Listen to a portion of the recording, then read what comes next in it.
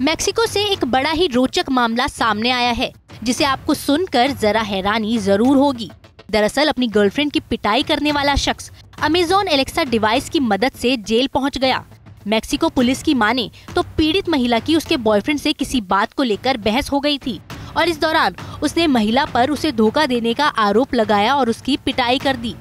महिला इस पिटाई से बुरी तरह से जख्मी हो गई। दूसरी तरफ़ आरोपी चिल्लाए जा रहा था और उसे गालियाँ भी दे रहा था। आरोपी ने पीड़ित महिला को इस बात की धमकी दी कि वो इस मारपीट के बारे में पुलिस को नहीं बताएगी।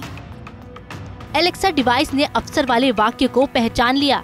इसके बाद एलेक्सा वर्चुअल असिस्टेंट ने 911 पुलिस नंबर पर कॉल कर दिया।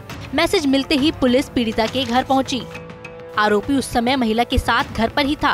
पुलिस ने उस शख्स को गिरफ़्तार कर लिया और सलाखों के पीछे डाल दिया। वहीं पीड़िता को अस्पताल में भर्ती कराया गया। ब्यूरो रिपोर्ट क्राइम तक।